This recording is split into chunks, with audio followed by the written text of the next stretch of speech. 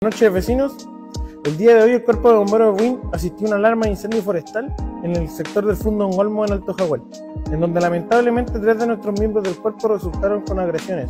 Un cobarde actuar fue el que tuvieron tres sujetos en la jornada del domingo recién pasado cuando bomberos se dirigía hacia el Fundo Ongolmo a realizar un procedimiento en el cual buscaban apagar un incendio de una vivienda en este lugar. Tres sujetos que portaban eh, palos golpean y agreden eh, de manera brutal a funcionarios bomberiles, los cuales terminaron en el servicio de urgencia del Hospital San Luis de Win. Esta situación es algo que debemos evidenciar y poder mostrar a la ciudadanía para evitar que se siga realizando este tipo de acciones con respecto a lo que son bomberos. Estuvimos conversando con eh, vecinos de la comuna quienes comentan el actuar de estos sujetos y también nos dan su opinión con respecto a estos hechos. Sorry, no puede ser, pues. Bomberos, ¿quién les paga? No le paga a nadie. Ellos siempre deben estar ahí, ayudarlos, no, no perjudicarlos. Como está la gente ahora, pues. Sí, pues si no fuera por ellos, cuando uno tiene problemas o tenemos problemas, todos, todos, pues. Todos, no tan solo uno nomás, todos. Malo, pues, malo. Ellos son personas útiles acá, porque si no fuera por ellos, no se hace nada, sirve para todo, pues, porque ellos son los que, si se, se quema su casa, ahí están ellos. Si hay un accidente, ahí están ellos. Que son, más encima ellos son voluntarios. Ni siquiera reciben un sueldo, nada, porque le hacen eso. Si ellos van por ayuda, no van a hacer daño. ¿Qué cree que se debiese hacer con la gente que agrede a bomberos? Ten- Detenerla, pues. Detenerla. Llevarlas presas porque no se merece otra cosa. Por supuesto, un hecho condenable al cual el superintendente de la comuna de Buin, Gustavo Verdugo, nos comenta cuáles fueron los motivos, cómo ocurre esta situación y cuáles serán las acciones legales que piensan tomar. Bueno, esta situación se dio ante, anteayer, en la noche, en el fondo Ongolmo. Se despachó un 10-0 primero en un principio, que después fue, era más que nada pastizales.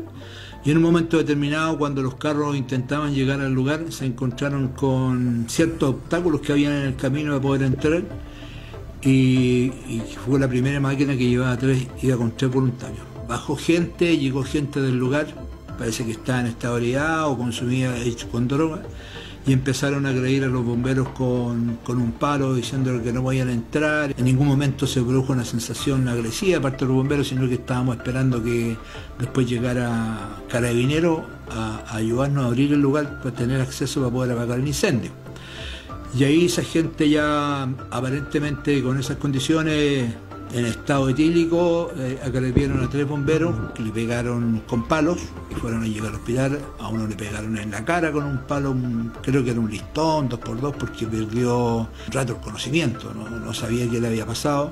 Y se tuvieron que retirar de ese momento y, llamar, eh, esperar que llegaran las otras máquinas al lugar para poder atender a los propios voluntarios pedir la unidad para llevarlo al hospital. Bomberos la- pudo, pudo actuar con cierto grado de inconveniente que estaba el comandante a cargo, no dejaban salir ni los carros. Se llamó Carabinero, Carabinero llegó el rato después y bueno, lo- estos tipos salieron arrancando, no lo pudimos encontrar, pero ya los tenemos identificados, vamos a proceder en la parte legal lo que, lo que le corresponde a los bomberos que sería demandarlo, en este caso por parte del relacionado, y el cuerpo se hace presente con una querella eh, contra los que resultan responsables por lesiones a los bomberos. Eh, son, son gente que vive ahí en el fondo de Ongolmo, se tomaron una parte creo de, de Ongolmo, no están en una condición legal y ellos estaban indudablemente en condiciones etílicas, estaban con trago.